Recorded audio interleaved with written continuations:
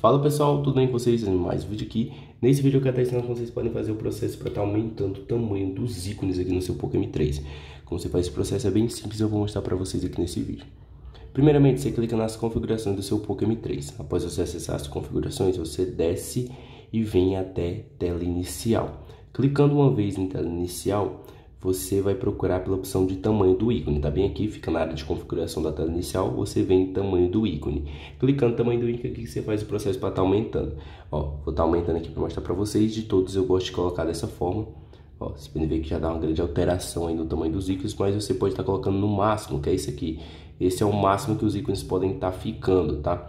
Aí você coloca de acordo com sua preferência que você acha melhor, tá?